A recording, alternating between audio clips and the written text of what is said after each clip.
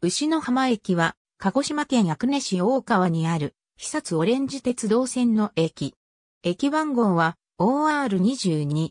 開業当時の地名が由来。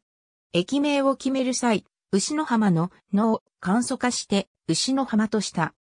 牛野浜の牛は動物の牛ではなく、岩や丸太などで作った木組みや積み上げられた石のことであり、この木組みや石が薩摩黒牛の背中に似ていることから名付けられたもので、放牧や牧場とは関係ない。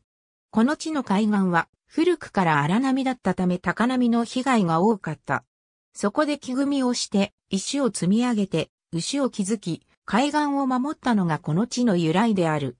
現在でもこの一帯の沿岸には牛瀬と呼ばれる当時に作られた人工岩や木組みが残っている。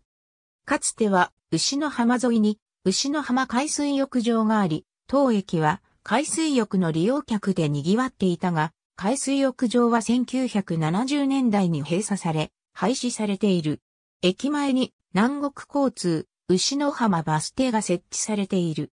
臨時快速、オレンジ食堂の隣の停車駅は、列車記事を参照のこと。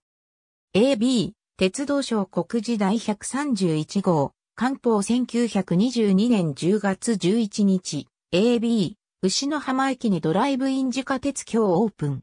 交通新聞 P2、面どころ福永牛の浜店閉店のお知らせ国土、数値情報国土交通省、2021年9月6日、閲覧。